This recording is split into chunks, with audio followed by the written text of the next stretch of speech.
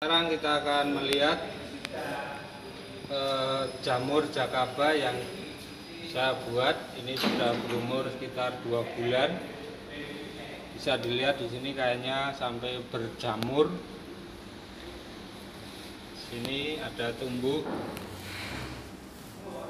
jamur jakaba.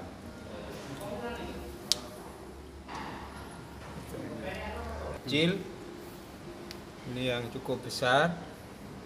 Cuma karena ini saya campur bermacam-macam bahan mulai dari dedak kasar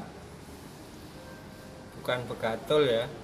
Saya campur ada daun pisang kemudian ada nasi juga. Ini yang besar mau saya pindahkan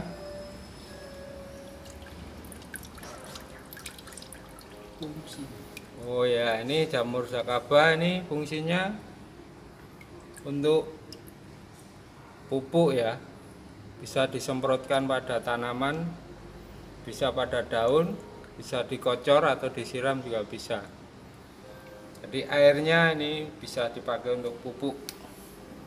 Ini mau saya pindah supaya bertambah besar. Ini tidak halus,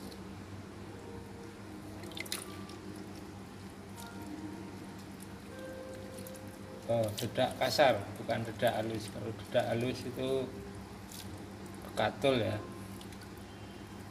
Ini saya sebar supaya nanti bisa bertambah banyak.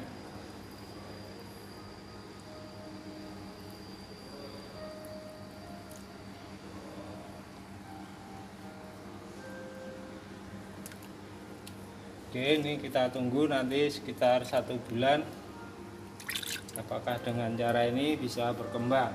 Nanti airnya kita tambahi lagi dengan air dedak kasar yang kita campur dengan air lalu kita tuang di sini. Tidak pakai air cucian beras. Terima kasih